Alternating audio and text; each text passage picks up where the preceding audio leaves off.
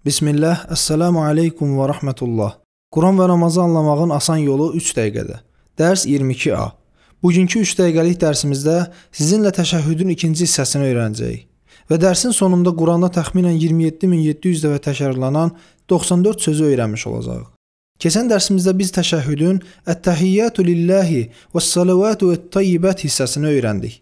Bu gün isə Əssalamu aləykə əyyuhan nəbiyyu hissəsinə baxacağıq. Sələm sülh, salamatlıq deməkdir. Əl bütün deməkdir. Əlhamdu bütün tərif və şükürlər. Əssələm bütün salamatlıqlar və ya bütün növ salamatlıqlar anlamına gəlir. Biz birinə əssəlamu aleykum dedikdə əslində demək istəyirik ki, Allah səni bütün pisliklərdən hifz etsin. Belə olan halda əssəlamu aleykum ən gözəl salamlaşma şəkli deyilmi? İndi isə gəlin təşəhhüdə keçək. Əssəlamu, salam, salamatlıq olsun. Aleykə, sənin üzərinə. Əyyuhan nəbiyyu, ey peyğəmbər. Yə ey deməkdir. Eyni ilə əyyuhan da ey deməkdir. Yə əyyuhə birlikdə də ey mənasını verir. Nəbi peyğəmbər deməkdir. Ənbiya isə bu sözün cəm formasıdır. Əssalamu aləykə əyyuhan nəbiyyu, salam olsun sənin üzərinə ey peyğəmbər deməkdir.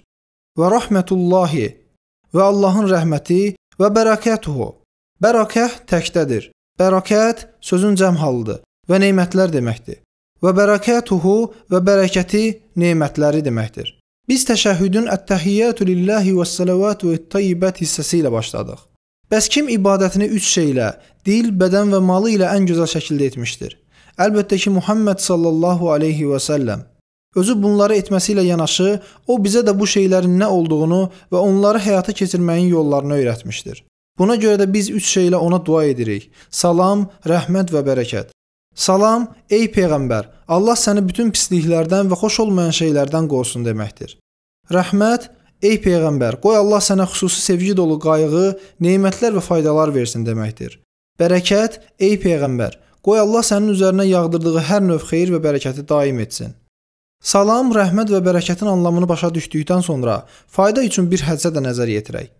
Peyğəmbərimiz sallallahu alayhi və səlləm səhabələri ilə birlikdə oturarkən onun yanından bir kişi keçir və "Əssalamu aleykum" deyir. Peyğəmbərimiz sallallahu alayhi və səlləm isə o buna görə 10 savab qazanacaqdır dedi.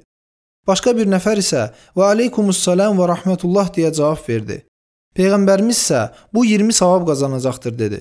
Bir digər insan isə "Və aleykumussalam və rahmetullahi və bərəkətuhu" deyərək cavab verdi. Bu zaman da peyğəmbərimiz belə dedi: O isə 30 savab qazanacaq. Bu günlük bu qədər. Növbəti dərslərdən xəbərdar olmaq üçün YouTube-da Bəyyinə kanalına abunə olun. Assalamu alaykum.